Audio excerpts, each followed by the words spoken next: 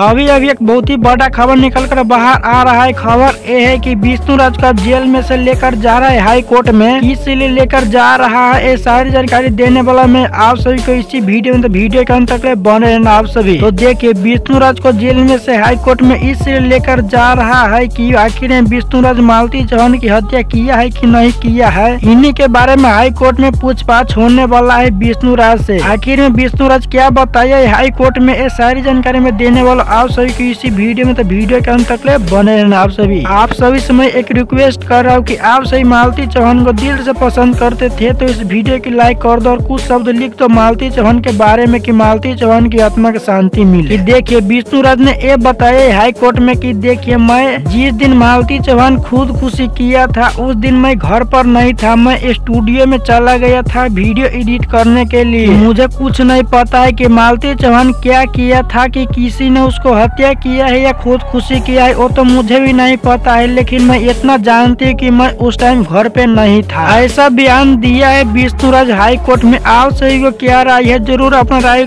Comment में लिखिएगा आप सभी।